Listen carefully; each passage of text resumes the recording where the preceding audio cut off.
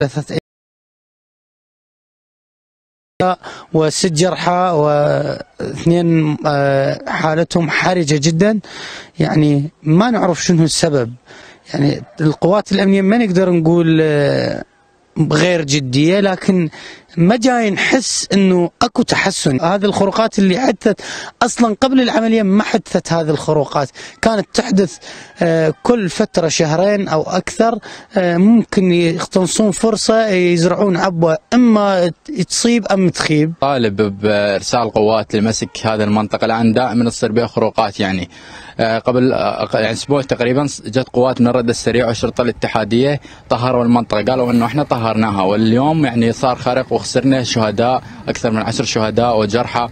ونتمنى من ال- القيادات الأمنية إنه إرسال ترسل افواج إلى هذه المنطقة. يعني هي منطقة فوج ربما يكفي إنه يمسك هذه المنطقة ويوفر الأمن.